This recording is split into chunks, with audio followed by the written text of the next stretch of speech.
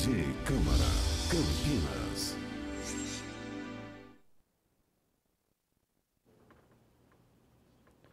Olá, bom dia. Agora são 10 horas e 22 minutos e você vai acompanhar ao vivo a reunião da Comissão Especial de Estudos da Câmara sobre a preservação do patrimônio histórico-cultural do Cemitério da Saudade. A comissão convidou hoje a especialista em genealogia e imigração italiana, Romilda Baldin. A presidência dessa reunião será do vereador Campos Filho. Acompanhe.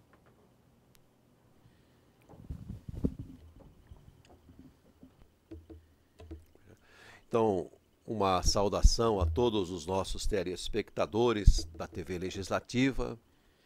Nós, como já foi dito, nós estamos fazendo esta transmissão ao vivo nesta nossa comissão e nós entendemos que essa nossa iniciativa é uma iniciativa de prestação de contas à população de Campinas. Prestando contas com esta comissão especial de estudos, que, como foi dito, tem essa finalidade de preservar. Embora a nossa comissão também já todos nós sabemos que quando você fala de América Latina, dos países latinos, em preservação é na verdade muito difícil, porque isso aí é, culturalmente as pessoas não estão acostumadas à preservação, especialmente nesses últimos tempos em que o país passa por grandes dificuldades. Então, quando se fala da preservação do patrimônio histórico e patrimônio histórico cultural do cemitério, né, as pessoas ficam meio. Né, mas, na verdade, como nós dizemos no dia a dia, a roda gira. Então, nós temos que cuidar de um todo da cidade de Campinas. E a nossa comissão tem essa característica de prestar contas e cuidar da preservação do patrimônio histórico, especialmente falando, e a TV Legislativa nesse ponto é um ponto fundamental nós estamos aqui com a senhora Romilda, que vai falar daqui a pouco para a gente sobre essa nossa iniciativa também e sobre o livro que ela vai lançar. Uh, tem uma participação muito importante a Câmara Municipal, porque a televisão ela abre esse espaço para falar sobre esse assunto. Nós vamos estudar o Cemitério da Saudade com esse potencial de um dos maiores museus a céu aberto do estado de São Paulo. As pessoas que moram aqui às vezes nem sabem, às vezes tem até medo de ir no cemitério, né? Às vezes tem até medo de passar na frente do cemitério, né? Então nós temos que também desmistificar um pouco essa situação que nós passamos. O Marcos Cardoso, Marquinho, assessor do professor Alberto, cadê ele? Tá lá? Ah, tá aqui, Marquinho, seja bem-vindo, viu? Então a gente procura, Marcos, desmistificar um pouco isso aí com essa comissão que exatamente tem também a iniciativa, com essa iniciativa, uh, mostrar esse que é um dos maiores museus, como disse, a céu aberto do nosso estado de São Paulo. E manter também a discussão para que seja preservada, principalmente a memória, com diálogo aberto à população. A gente passa vezes, tantas vezes pela Francisco Glicério, quem sabe quem é, quem foi, quem é que fez, né? Então isso aí desperta nas pessoas. Passamos na Costa Aguiar. Uma vez eu falava com um amigo, o Jorge Alves de Lima, ele falou assim, o Jorge Alves de Lima é companheiro nosso, a senhora também conhece, é o presidente do Instituto de Genealogia. Meu presidente. É, presidente do Instituto, a qual ela faz parte. Ele dizia assim, olha, Campos, depois que a gente começa a conhecer as coisas, eu já falei com pessoas que, quando passam pela Costa Aguiar, fazem uma oração tudo que Costa Aguiar representou para Campinas. A febre amarela. Né? Febre amarela. O próprio Zé Paulino, né? que era médico, que deu a própria vida. Ângelo Simões. Ângelo Simões. Mas a gente entende que não estamos remando contra a maré, não. Isso faz parte e um dia as pessoas vão começar a dar importância a isso tudo. Bem, o Cemitério da Saudade, eu quero dizer que hoje representa um símbolo da cultura, um tempo de nossa história, com esculturas, sepulcros arquitetônicos, artísticos importantes que devem ser preservados. Daí então a nossa iniciativa de fazer essa comissão para que isso seja representado. Eu só queria dizer o seguinte: nós temos tantas iniciativas que são copiadas de outros países, de outras coisas que acontecem lá fora. Né? E nós temos em Buenos Aires o cemitério La Recoleta. La Recoleta. Né? La Recoleta e este cemitério é um centro cultural e de visitação. Veja como é difícil, diferente daqui. As pessoas procuram não ir, Lá não, lá é um local onde as pessoas vão visitar. O do Araçá, em São Paulo, né? O do Araçá em São Paulo também. Então, Tem guia aos- até lá. então, é isso que nós queremos fazer aqui também, que tenha um guia, sei lá, ou que sejam cobradas as visitas, como são feitas nesses outros cemitérios. Bem, nós temos a dizer o seguinte, a nossa comissão, ela tem como participantes também o vereador Carlão do PT, o Permínio, o vereador Ailton e também o vereador Luiz Henrique Cirilo. E para hoje, os telespectadores da TV Legislativa vão dar um passo além também no conhecimento, porque nós fizemos questão de convidar a senhora Romilda Casizi Baldim, que é uma pesquisadora campineira, especialista em genealogia e imigração italiana em Campinas e é também titular da cadeira 8 do Instituto Histórico de Campinas, Instituto Histórico Geográfico Genealógico de Campinas. Publicou vários livros, Campinas Italiana, Obras e Conquistas dos Primeiros Imigrantes Italianos, Retorno ao Passato, a saga de uma família vêneta, e no dia 25 agora de março, já pertinho, na Academia Campinense de Letras, né, no Rua Marechal Deodoro, vai lançar esse livro aqui. Eu não sei se tem condição de fechar aqui a câmera no livro, é esse livro aqui, ó, que tem como título, aliás, um título bastante inspirado. E eles embelezaram a morte, enaltecendo a vida. né? Então, esse é o livro que vai ser lançado no dia 25, no, na Academia Campinense de Letras, na Rua Marechal Deodoro, 525, o lançamento do livro. E nós estamos então recebendo-a para que ela fale sobre o livro, mas também dê a sua experiência e a sua decepção também, né? Ao visitar o nosso glorioso cemitério da saudade e viu lá, né? Eu queria que a câmera fechasse Aqui. aqui, tá certinho? Ela foto. tem aqui. Ela vai apresentar então a situação em que se encontra vários pontos do cemitério da saudade. Não se trata aqui, Ailton, faça favor, de um de uma discussão política, de uma discussão político-partidária. O vereador Ailton, da farmácia, está chegando aqui também. Ailton, estou falando o seguinte, que a nossa comissão ela tem uma característica de recuperar a memória, né? coisa que não é muito comum na uma grande parte Pelo das menos em pessoas Campinas. né? Ela diz aqui, pelo menos em Campinas. Agora, no ato iniciativa não é que é contra o prefeito, é contra o Não. governador, é contra o presidente, não. Nós queremos, com essa comissão, fazer com que as pessoas, ah, despertem nas pessoas o que a gente chama de conscientização. né? E a conscientização, ninguém conscientiza ninguém. A conscientização, ela vem de dentro para fora. As pessoas começam a questionar, né, Marco? Perguntar e, puxa vida, será que eu não estou abandonando muito? Será que as coisas não estão acontecendo? Não tô... Essa é a conscientização. Podemos fazer aqui 500, mil reuniões, você não vai conscientizar ninguém. A conscientização é a pessoa que tem, né? Ela vem de dentro para fora. Então, você quer falar alguma coisa, Ailton? Eu queria, dessa nossa comissão a qual você pertence, pôr o, o microfone para o Ailton. Também É. a Alessandra Germano, Bom dia, viu? assessora do gabinete do vereador Marcos Bernardelli, e está aqui o vereador Ailton. vereador Campos Filho. Romildo. Não.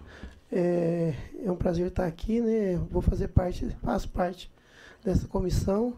É uma coisa para a gente aprender, né? Né, vereador? Exatamente, exatamente. E a gente, eu, eu, eu, eu vejo, por exemplo, o meu irmão foi para Buenos Aires. Aí hoje o que, que ele visita lá? O cemitério lá em Buenos Aires. É uma coisa muito boa. É, é- é- França, É- Estados Unidos. é turístico o negócio. Então, o que, que a gente vai tentar fazer aqui? Com que Campinas também, o Cemitério da Saudade, seja mais bem visto e a pessoa vai fazer a visitação, não só para ver um parente lá no dia, que vai fazer uma visitação pela arte, pela história das famílias, né? É isso aí que eu queria dizer, tá bom? Muito obrigado. Muito bem, uma fala bastante consistente, né, contundente, rica. Eu passo agora então a Romilda que vai falar para a gente a respeito da, do, do cemitério da saudade e da preservação né, da nossa memória. Bom dia a todos. Bom dia. Agradeço imensamente o convite a mim dirigido e agradeço eh, a de poder colaborar com essa equipe que tenta, vou dizer tenta, né, porque é, é uma coisa meio difícil, preservar o cemitério da saudade num todo. Antigo cemitério do Fundão, que teve esse nome mudado para Saudade em 1924. Ele é um cemitério datado de 1880, quando foram transportados todos os corpos que estavam no antigo cemitério na Vila Industrial, cemitério municipal. Eles foram transferidos todos para o cemitério da Saudade. É, ele tem um portal que é atribuído sem data e comprovação a Ramos de Azevedo, mas não, não dá para falar que é dele. O estilo é dele, mas não é porque aquele portal foi colocado ali em 1910. A administração do cemitério pertence a Ramos de Azevedo. Foi ele quem construiu, fez a planta da administração do cemitério. E quando você entra naquele cemitério, um cemitério que tem 32.500 e tantas sepulturas, um cemitério que tem uma área grande e tem a história de Campinas ali dentro, eu acho que tem que ser preservado. O cemitério ele é composto de duas partes. Para quem já foi ao cemitério da Saudade, é, conhece sabe que a capela do Ferreira Penteado é uma capela que você vê na Alameda das Palmeiras, que é a alameda principal do cemitério, ela separa os cemitérios particulares, que eram os mesmos que tinham no antigo cemitério da Vila Industrial, do cemitério municipal propriamente dita. Até a capela do Ferreira Penteado, existem cinco cemitérios ali dentro. Da Ordem Terceira do Carmo, da, do Santíssimo Sacramento da Catedral, da Cúria d'Arce, é, São José e São Miguel e Almas. No São Miguel e Almas tem uma capela que foi restaurada agora, que todo domingo celebram-se missas ali dentro. Então, ness, nesses dois cemitérios, da Santíssima, do Santíssimo Sacramento da Catedral e da Venerável Ordem Terceira do Carmo, ali estão enterrados a nata. Os barões, as viscondessas, os fazendeiros, e ali está a história de Campinas. Seus vultos, as pessoas importantes que dão nomes às ruas, que trabalharam e fizeram Campinas ser o que é hoje. E dentro desse cemitério, eu estive recentemente com um grupo de 40 pessoas. Nós fomos fazer uma visita e deparamos com as imagens que vocês podem ver. O cemitério é, praticamente destruído. Então eu pergunto, fiz uma pergunta, mandei para o jornal e fiz uma pergunta: como é que esses túmulos serão restaurados? Eu perguntei na administração do cemitério, porque esses túmulos eles estão na primeira parte do cemitério. Então, são túmulos antigos. Você olha ali, você vai ver é, pessoas enterradas 1890, 1895, da época da febre amarela. Eu perguntei como é que eles serão restaurados? Serão restaurados como eram ou farão como o túmulo de José Rosada, um grande escultor é, italiano que tem obras magníficas dentro do cemitério, um, um, um túmulo de cimento. Então, eu foi isso que eu questionei.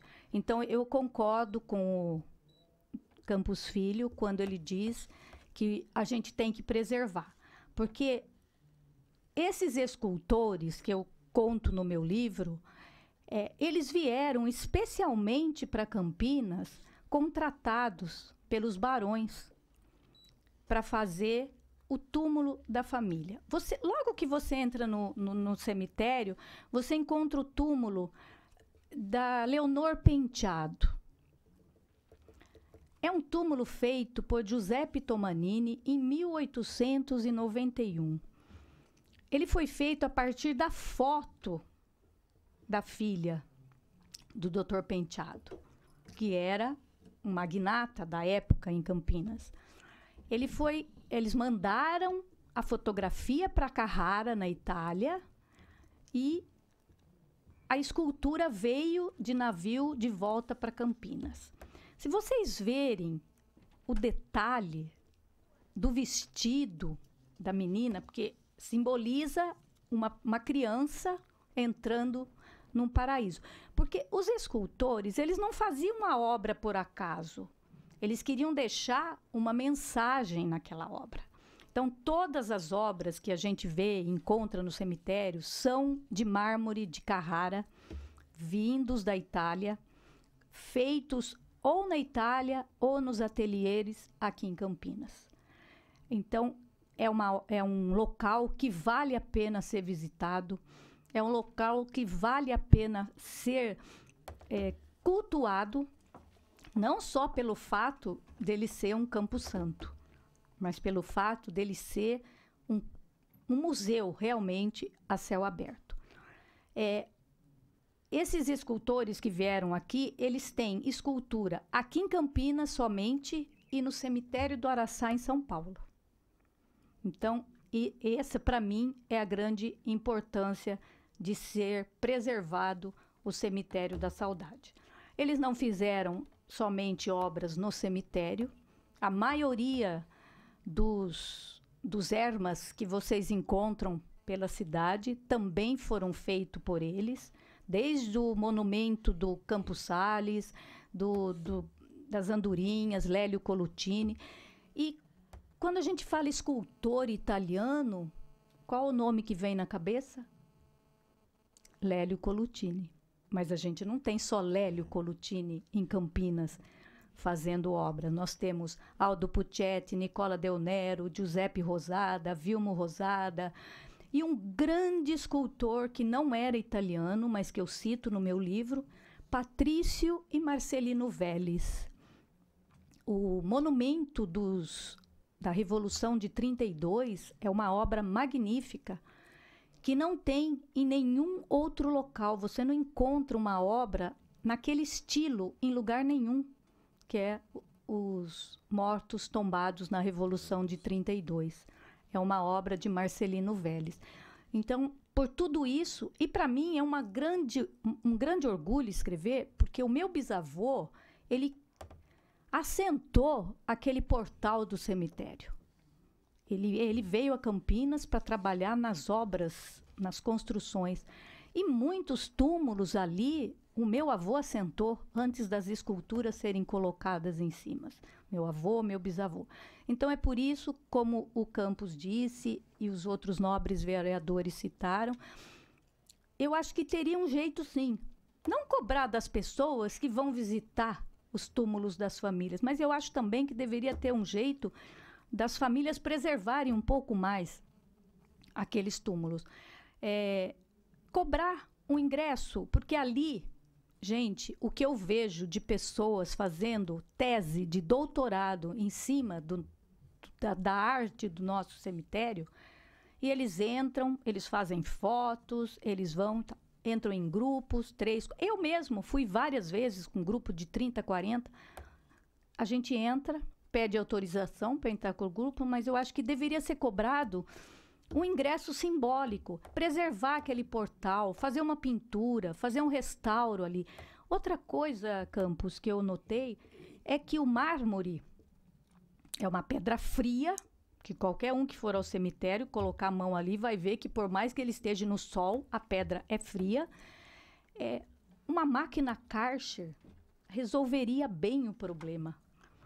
Porque várias vezes que eu fui. Não, não estou criticando como ele está sendo administrado. Eu estou criticando o que eu vejo quando eu vou lá, às vezes que eu fui para fazer o meu livro. É, os funcionários eles estão sentados nos túmulos ali, conversando na entrada do cemitério e ficam ali duas, três horas, quando não tem velório para ser feito, é, desculpa, enterro para ser feito. Então eu acho que eles, com a máquina caixa, uma, uma faquinha, alguma coisa, tirariam as, o mato, a coisa que cresce, lavariam, deixariam esses túmulos limpos. Tem só dois túmulos limpos no cemitério, que são obras de Giuseppe Tomanini, que estão no cemitério da, da Catedral, que é da família Franco Andrade, que era um deles era um carnavalesco que morreu em 1890, naqueles cursos que tinham no, na época do carnaval em Campinas. Ele caiu, bateu a cabeça e Giuseppe Toma, e ele faleceu e Giuseppe Tomanini fez o túmulo dele e o túmulo do pai dele. Então eles eram famílias de bem e eles são os únicos túmulos que tem ali que eu acredito que tem alguém que faça a manutenção porque eles são cercados com, com grade e são todas as vezes que a gente vai ao cemitério, eles estão brancos, da cor da montanha em Pietra Santa, de onde é tirado o mármore. Então eu acho, essa é a minha opinião. É isso tudo eu conto no livro, todos os locais que existiu um cemitério aqui em Campinas até chegar ao fundão que ele foi chamava-se Fundão por causa da capelinha que tem próximo ao cemitério, que ela tá ali. Ninguém tem data daquela capela e ela se chamava Capela Santa Cruz do Fundão. E o cemitério ficou sendo chamado Cemitério do Fundão. E aí ficava um nome meio assim, né? Cemitério do Fundão. Hoje o pessoal entra no cemitério, que eu já vi, eles falam: ah, nós vamos para a parte do fundão, porque o cemitério é tão longo, né, tão grande. Então, essa é a minha opinião, é o que eu estou contando no livro. E eu espero que vocês possam ter oportunidade de ir ao cemitério e olhar o cemitério com outros olhos com olhos de quem é, quer preservar a história de Campinas. Você entra logo no cemitério e você vê o túmulo do Barão Geraldo de Rezende do lado do escravo dele, o escravo Toninho. Todo mundo conhece o túmulo do escravo, escravo Toninho, que, que é atribuído a ele diversos milagres.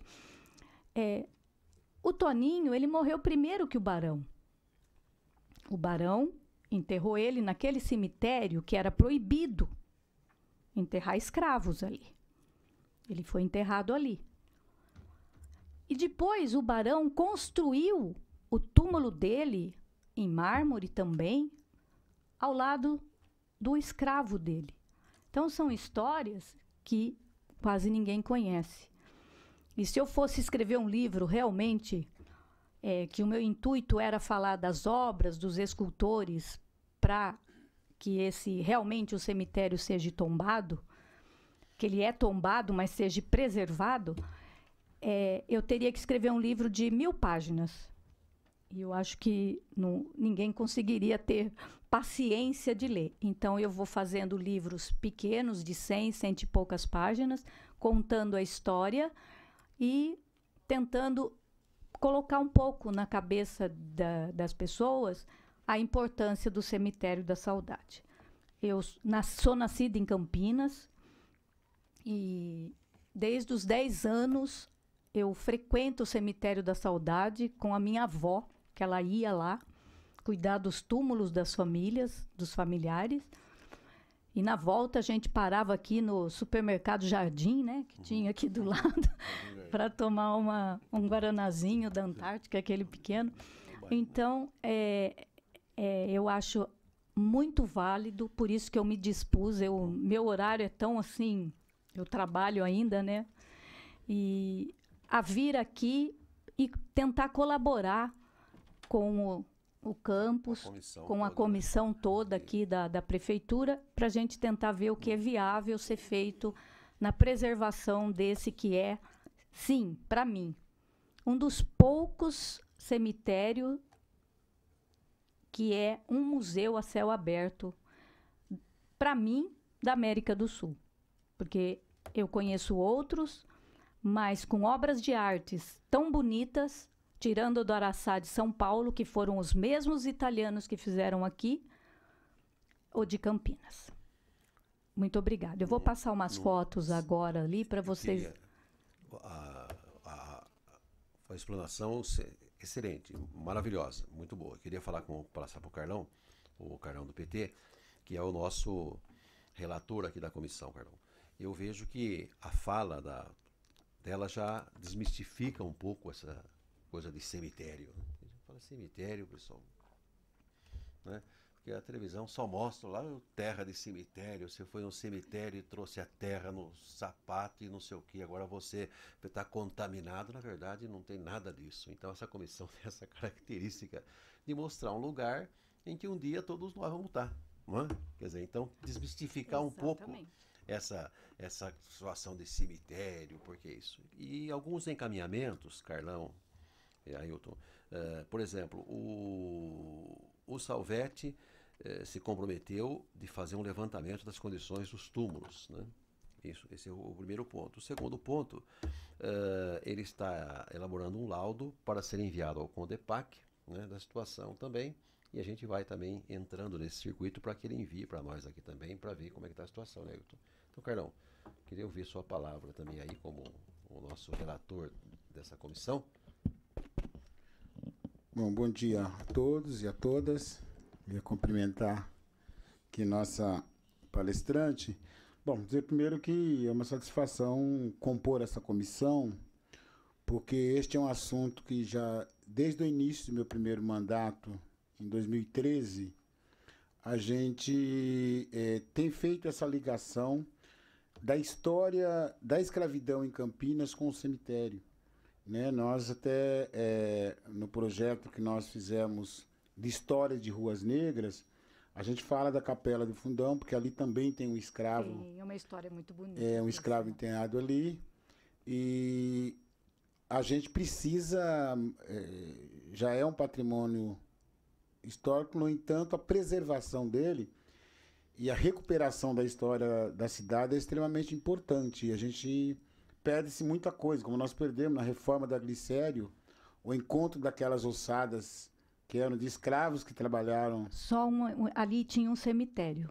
Pertencia à Igreja do Rosário. Exatamente. Era um cemitério de negros. Exatamente. Nós não conseguimos, por exemplo, preservar aquilo. Né? No Rio de Janeiro nós temos uma experiência que é onde foi passado ao lado do metrô o calçadão, onde foi encontrado as ossadas lá.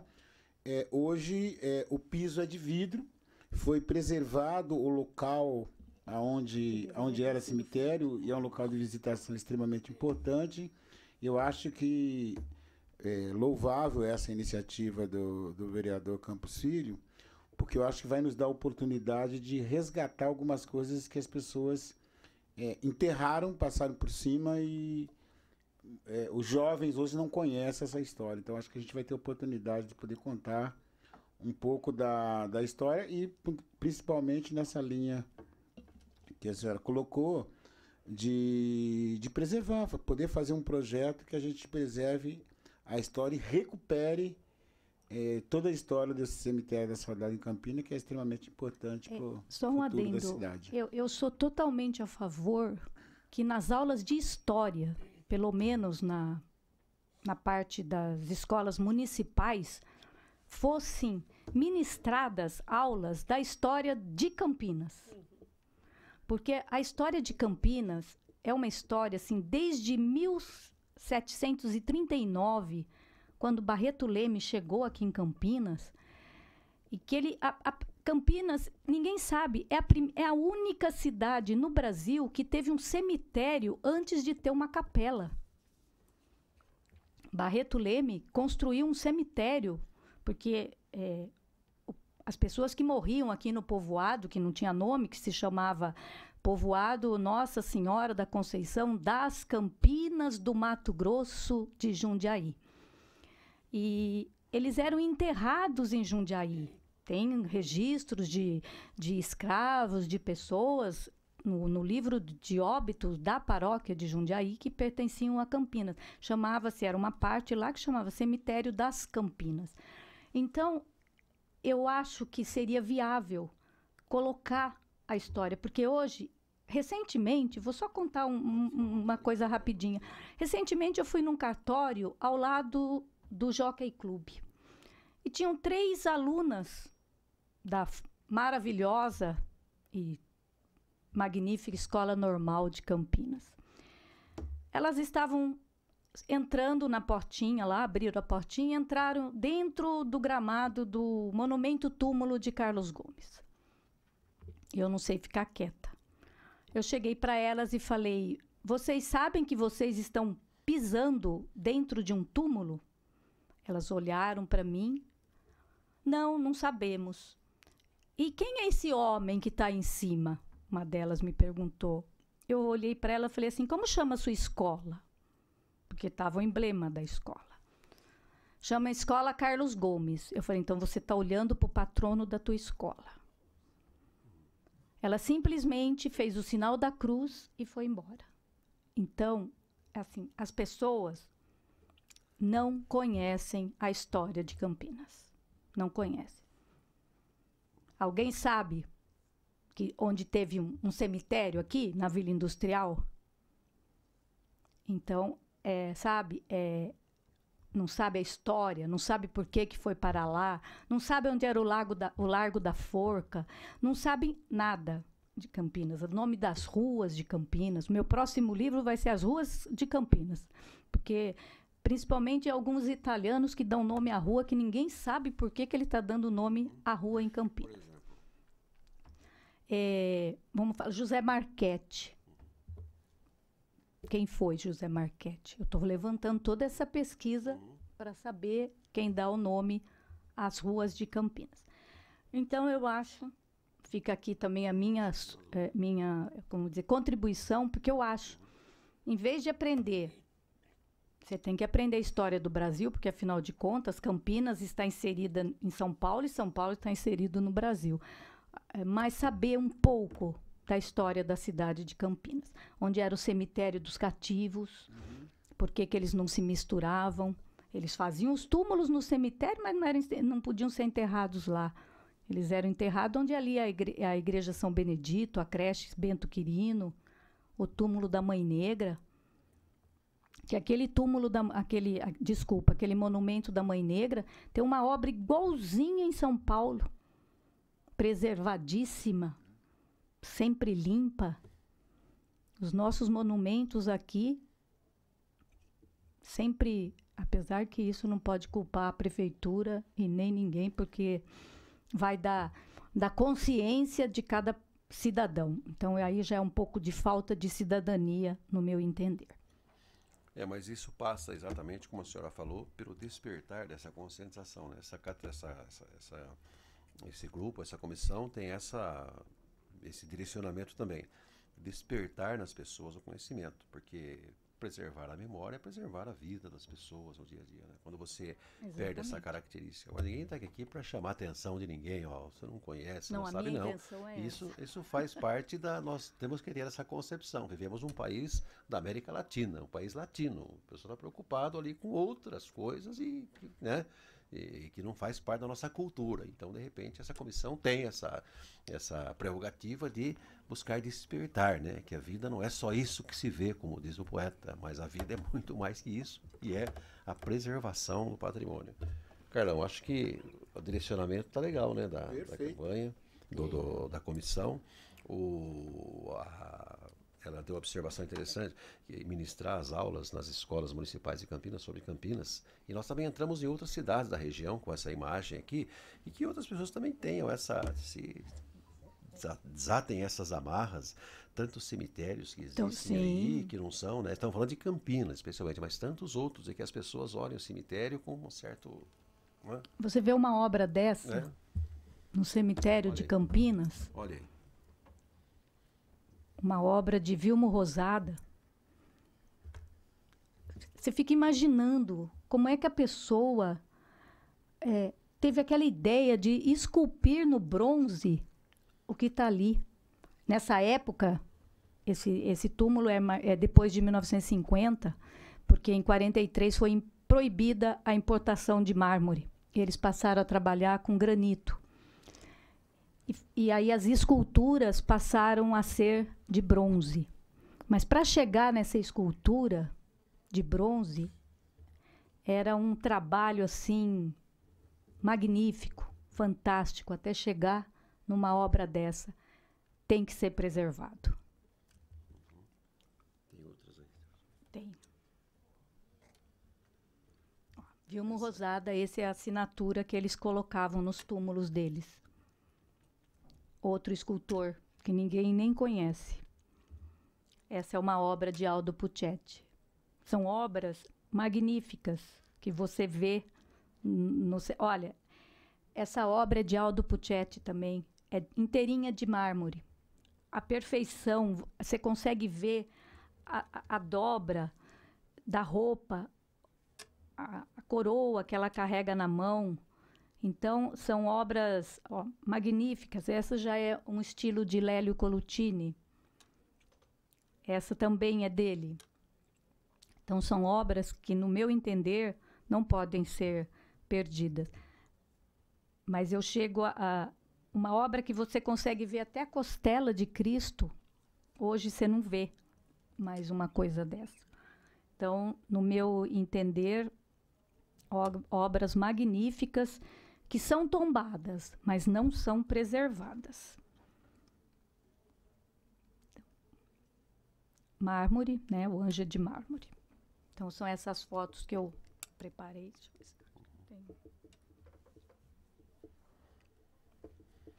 Então, o nosso, o nosso trabalho vai ser para, depois do tombamento feito, a preservação. É um trabalho bastante difícil, mas a gente vai usar pelo menos a nossa uh, caminhada política, né, que são ações políticas que têm que ser feitas e mostrando o resultado para, uh, para a cidade de Campinas. Bom, Carlão, eu sugiro a gente fazer, Ailton, o, o encaminhamento. Eu estava pensando em convidar o Salvete para que estivesse conosco na próxima reunião, né? É, para dar um direcionamento também àquilo que ele está pensando fazer. Na primeira que ele já falou, deu uma dificuldade, porque ele falou da cobrança de uma taxa, então isso já ficou meio assim. Entendeu? Daí o Rafu me ligou algum tempo atrás e falou assim, não, já existe um projeto lá que, de cobrança de taxa no cemitério. Então tudo isso são discussões polêmicas tal. Agora... Eu, vou, eu vou dar outro adendo. Eu sou totalmente a favor de cobrar uma taxa das famílias, sim. Porque é, o meu sogro, ele tem túmulo, tudo bem que o cemitério é particular, mas tem anuidade, porque senão o cemitério particular não conseguiria manter a, o, as, o Aleias, o Flamboyant eu acho que o cemitério da saudade, o túmulo não pertence à prefeitura. O túmulo pertence a, é pertencente a uma família.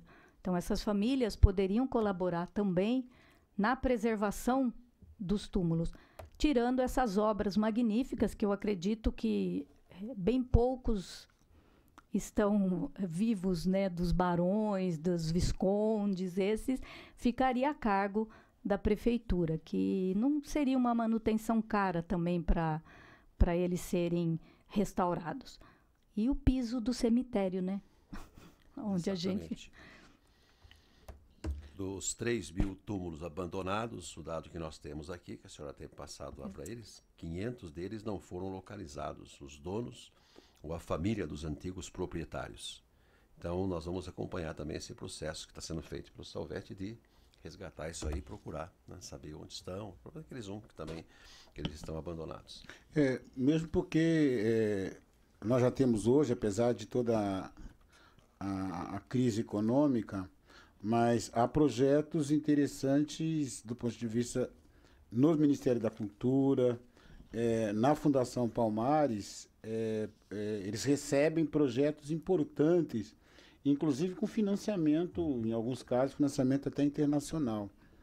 Eu penso que esse trabalho ele, ele pode ser a base para a elaboração de um, de um projeto de preservação, uhum.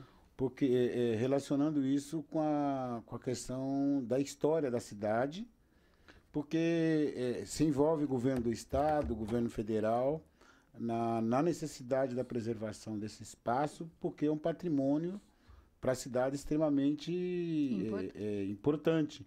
A gente faz um link, por exemplo, hoje são raros campineiros que conhecem a história do Boi Falou de Barão Geral. Né? A gente vai lá na festa do Boi Falou, come macarrão, no entanto, há um pano de fundo que tem uma história da escravidão extremamente grave naquelas fazendas que foram doadas pela coroa para a família dos escravos, no entanto, é, não tiveram acesso. Então, assim, tem um link com toda a história de Campinas e eu tenho certeza que se a gente conseguir contribuir na elaboração de um projeto de, eh, de preservação que passe pelo processo da educação não só municipal, as escolas estaduais que estão no município, as universidades, a gente é, tem condições de, de buscar, inclusive, recursos para isso. Para isso, né? Eu acho que é importante. Você falou uma coisa muito importante. A escravidão em Campinas, é, só abrindo um parêntese, ninguém sabe, Campinas foi a última cidade do Brasil a só ela só terminou a escravidão mesmo quando a princesa Isabel passou a caneta lá. Porque quando a princesa Isabel assinou a, a Lei Áurea, é, nenhum lugar do Brasil tinha mais escravos. Campinas tinha. Quando um, um, escravo cometia algum delito em qualquer lugar do Brasil, o, o dono do escravo dizia: Vou te mandar para Campinas. Porque aqui era um inferno para os escravos. Quando ela assinou a Lei Áurea, que teve que tirar os escravos da fazenda, eles eram livres, não deram uma assistência para eles, aonde algumas continuaram, as mucamas, as que as baronesas tinham confiança, continuavam dentro das casas, mas e os outros? Ao mesmo tempo que eles contam uma história maravilhosa, saindo os, escra os escravos e entrando os imigrantes, que a história dos imigrantes é muito parecida com a dos escravos, então a gente vê que foi dada liberdade aos escravos, mas não foi dada condições para eles trabalharem, para eles é, viverem dignamente. Aí eles criaram os cortiços em Campinas. E você pega Ponte Preta, na própria Vila Industrial, onde haviam os cortiços misturados juntos os negros e os italianos. Porque os italianos também tinham alguns que eles fugiam das fazendas, não tinha como eles trabalharem ali, de tanto que eles eram explorados. Eles só os italianos e os outros imigrantes só não foram para o tronco, porque o resto eles passaram tudo. E para quem não sabe também, os escravos eles eram enforcados no Largo Santa Cruz. Ali era o Largo da Forca. Era, então, é uma história muito muito rica. E ainda vou escrever sobre a escravidão de, diferenciada aqui De presente Brasil. ainda criaram a lei da vadiagem. Que essa foi a mais grave, que é, é o pano de fundo da criação da polícia militar, da polícia militar no, no país foi a, a vadiagem dos escravos. Muito bem, eu creio que a gente está não é usual isso que nós estamos fazendo aqui, né, Carlão? Isso não é usual. No dia a dia não é usual. Estamos preocupados com a carne, com, né, que faz parte também. Mas só que também faz parte. Queria então encaminhar, Carlão, a nossa reunião. Só tem um ponto aqui que a senhora fala aqui, que o cemitério público municipal recebia todos os sepultamentos da cidade, Sim, exceto os bexiguentos e os leprosos. Exatamente. Os bexiguentos eram os bexiguentos tinham os lazaretos, né? É. Que depois eles usaram para o período da febre amarela. E os bexiguentos era a varíola, que teve. Campinas é, conviveu com tantas epidemias, varíola, lepra e todas. E, mas não se tem comprovação aonde essas pessoas foram enterradas. Não tem.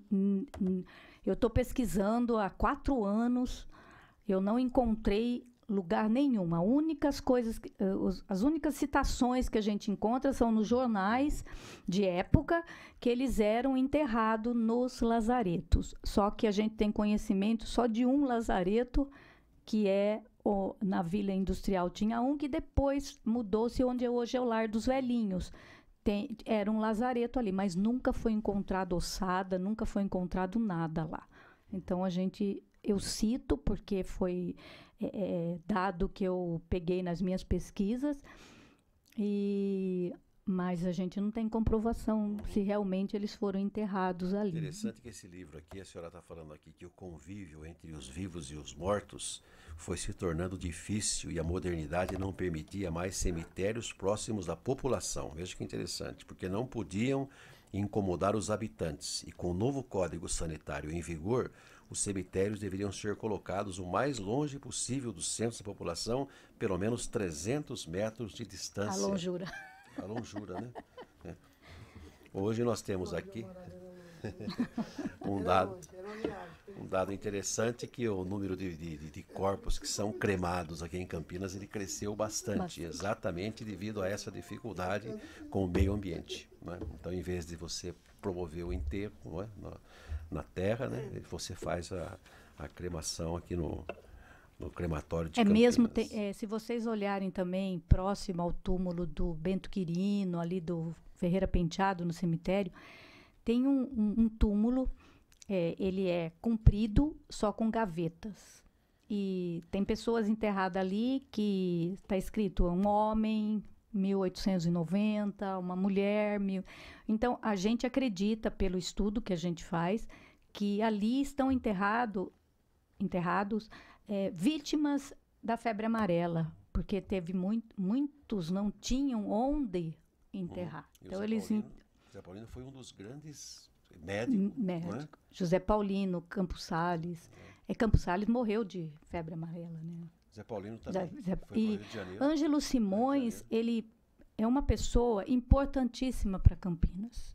Deveria, deveria ser uhum. citado uhum. nas escolas mesmo. Porque ele deu o sangue dele, foi um dos poucos médicos que não abandonou Campinas. Foi Zé Paulino. Foi. Guilherme da Silva, Ângelo Simões, Costa Guiar, José Paulino. José Paulino era intendente de Campinas, intendente era o prefeito. E eles ficaram aqui em Campinas. O Ângelo Simões, ele perdeu a mulher e os cinco filhos de febre amarela. Quando terminou a epidemia, ele se suicidou, porque ele não conseguiu ficar sem a mulher e os filhos. Então são histórias que as pessoas não conhecem, não sabem. Uma hora nós vamos saber tudo isso aí. Eu digo Zé Paulino porque eu conversei com o dono da IPTV, o Coutinho Nogueira, o Zé Paulino. Sim, é parente dele. Parente do Coutinho Nogueira, que é o fundador aqui da, da IPTV. da IPTV, que trabalhou muito tempo. E o cemitério dos protestantes, né, dos chamados acatólicos, que a senhora coloca também. Exatamente, ele tinha dentro daquele cemitério na Vila Industrial. Uhum. Hoje, eu acredito que ele deve, deve quando você olha aqueles nomes diferenciados, eles estão espalhados pelo cemitério na parte nova, mas eles foram não foi formado o cemitério propriamente dito dos acatólicos que, é eram alemã, né? Eles tomavam conta quando era na, na Vila Industrial. Depois, quando foi transferido para o cemitério da Saudade, eles é, separaram os túmulos e não fizeram especificamente para não misturar hum, tá com a Igreja Católica. Tá Desde aquela época já tinha. Desde aquela época já, já tinha. E a gente via, e a gente via dentro do cemitério é, o poder aquisitivo. O mesmo poder aquisitivo que tinha-se na cidade extramuros, você encontrava intramuros. Porque era muito chique muito importante você deixar de herança para sua família um túmulo no cemitério. Um túmulo com uma escultura, um túmulo preparado por uma pessoa de renome. Isso era a herança que era deixada para a família. Então você continuou percebendo, porque quando é, é, Barreto Leme construiu a primeira capelinha, eles foram enterrados dentro da igreja a nata de Campinas. A outra a parte do, da população ela era enterrada fora da igreja, onde hoje é o monumento túmulo do Carlos Gomes. Quando foi proibida é, que se enterrasse pessoas nas igrejas, e você percebia na própria igreja, nos estudos que a gente fez, que quem tinha mais dinheiro era enterrado próximo ao altar da igreja. Quem tinha menos era um pouco afastado. Depois, também essas pessoas foram transferidas de dentro da igreja do Carmo para o cemitério da Saudade. A única pessoa que está enterrada na igreja do Carmo é Francisco Barreto Leme. O túmulo dele está lá ainda na igreja do Carmo.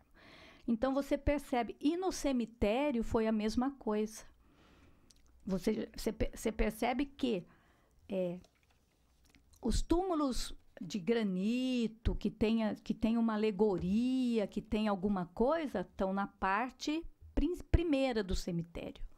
Depois que é o cemitério municipal propriamente dito, você não encontra escultura, você encontra uma cruz, um vaso, alguma coisa simples.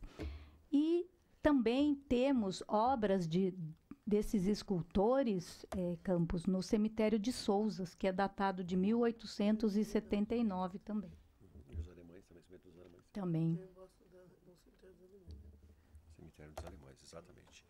Bom, queria passar então, para caminhando para o encerramento. Carlão, tem alguma observação a fazer? O Ailton? Tá, ok. Então, qual seria então o nosso encaminhamento aqui? Nós vamos uh, encaminhar para trazer, chamar aqui o, o, o presidente da CETEC, né, o Salvete, para que ele possa também dar o um encaminhamento que deve ser dado também a, essa, a esse assunto. O, os túmulos que serão restaurados, uh, um problema muito sério que a senhora falou, que eu achei interessante são os túmulos que são restaurados, mas como se fazia antigamente na igreja de São José e da Vila Industrial. O pessoal passava tinta em cima daqueles afrescos que eram, então chegava, vamos restaurar, vamos passar uma, uma mão de caiação aqui, né? Então, quer dizer, a gente fazer e, a restauração. E, e eles fizeram uma coisa que eu fiquei pasma. Pra, por ocasião do, do finados próximo passado, eles tiveram a ousadia de passar uma tinta preta nas obras de Lélio Colutini, Aldo Puccetti, diz que é para preservar. Eu falei, mas vocês estão passando o quê? Perguntei para a pessoa que estava passando. Ah, não, eles mandaram a gente passar a família. Aí eu fui lá na administração e perguntei. Não, nós estamos passando. Parecia um piche que eles estavam passando em cima das obras, que disseram que era para preservar. Então aí eu fiquei quieta, não falei mais nada. É, mas essa sensibilidade ainda são, é de poucos, né? Sim. As pessoas não têm essa sensibilidade. Hum. O pessoal passa lá, tá, faz de conta que tá, né? É. Tem gente, como disse, tem até medo de ir no cemitério. Sim. Né? Não é para ter, não, gente. Lá tem uma ser... maravilha, um, é um tá. fantástico. Como é que fala? Quando você vai, vai no cemitério, você vai contaminado.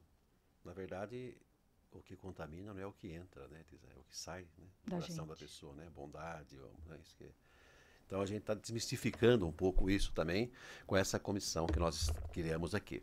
O próximo convidado vai ser o prof. Estou pensando, olhando para o professor Alberto, agora o professor Alberto. É. Então, mas o próximo convidado vai ser o nosso querido presidente da, da CETEC para tentar elucidar tudo isso aí. Agora, encaminhamentos também que vamos fazer junto à Secretaria da Educação, da colocação da, da, como matéria, o que, que implica isso, se pode, não pode, por que, que pode, por que, Eu que não acredito pode. que possa, porque... Ué. É, eu estive falando com o Jonas sobre o hino de Campinas, né? Vamos colocar o hino nas escolas aí, o pessoal cantar, Quem conhece?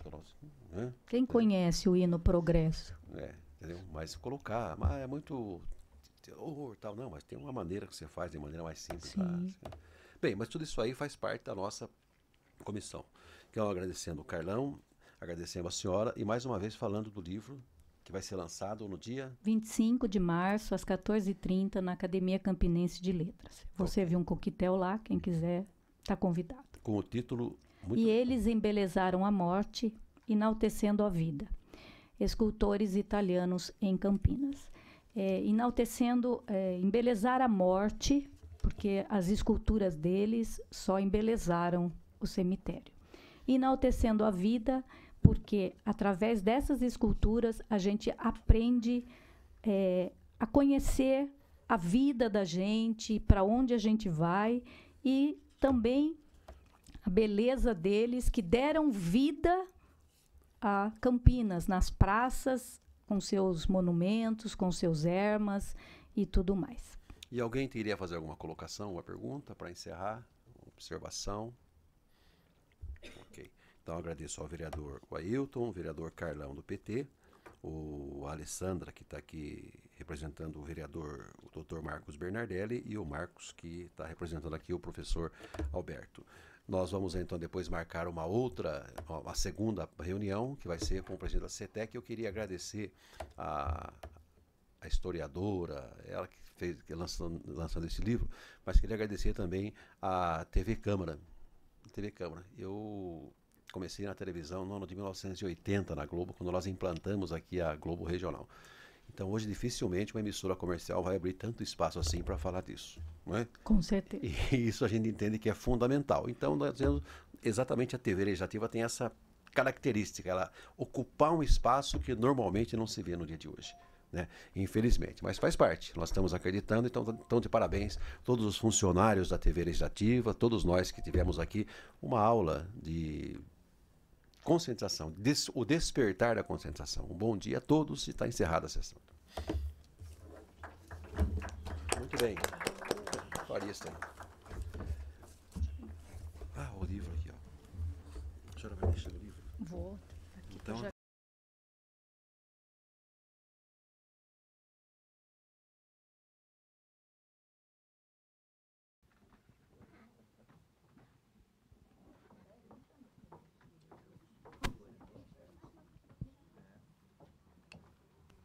Acendi.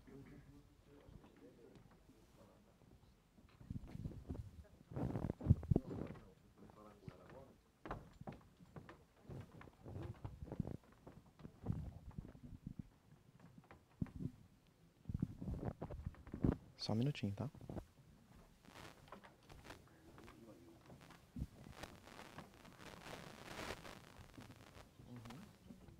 Só um minutinho, vou pedir pra ele.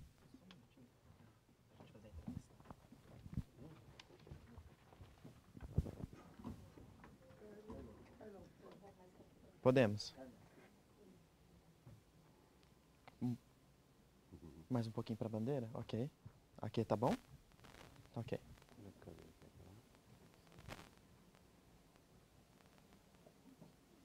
E agora a gente vai conversar com o vereador Campos Filho. Vereador, eu queria que o senhor fizesse um balanço desse encontro agora de manhã. Um balanço altamente positivo. A iniciativa da Câmara Municipal, da nossa Comissão de Preservação ah, do Patrimônio Histórico de Campinas, especialmente falando sobre o Cemitério da Saudade.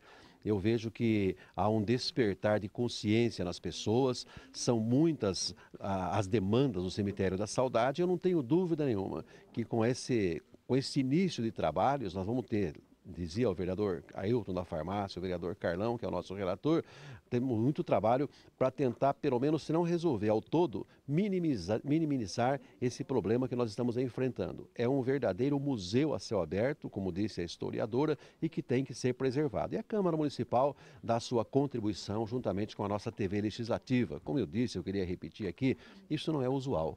Não é usual. O usual é você trazer aqui um, jogador de futebol, discutir futebol, discutir concurso de Miss, discutir carnaval, discutir shopping, que também faz parte da vida. Mas nós vamos exatamente nesta mão de direção para despertar nas pessoas esta conscientização. Vereador, e quando a gente fala dos problemas né, do cemitério, quais são eles e qual é a proposta da comissão? A proposta da comissão é parar, estagnar, por exemplo, essa situação que está hoje de abandono em alguns setores, né, alguns túmulos a gente vê completamente abandonados, para também fazer um trabalho junto a- ao Poder Executivo, para que a gente possa fazer um trabalho conjunto e restaurar isso aí.